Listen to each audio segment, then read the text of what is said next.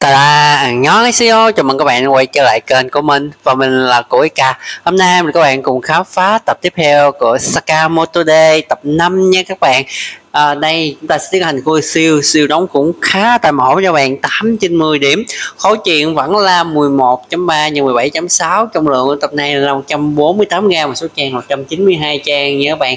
Bây giờ chúng ta cùng khám phá thì đối với tập 5 này chúng ta không có quà nhưng xuyên suốt bộ chuyện chúng ta sẽ có hai bìa.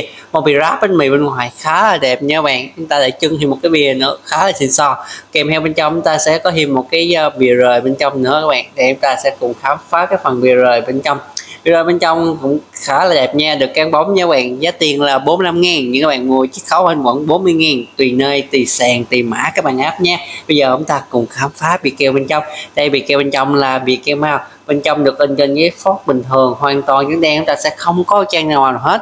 Chuyện được in gia công 5 ngàn bản.